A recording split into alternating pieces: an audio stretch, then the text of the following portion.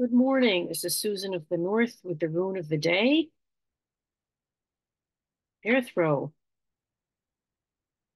Pair throw is the rune of luck, games of chance. Perhaps today would be a good day to play the lottery.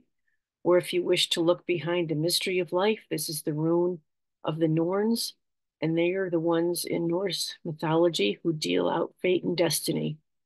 So there may be a chance for you today that taking this chance will bring you deeper into your own destiny and the, your life purpose.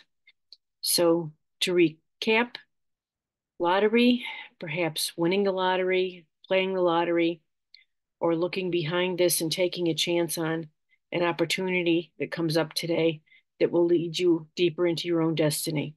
This is Susan of the North with the Rune of the Day, Perthro.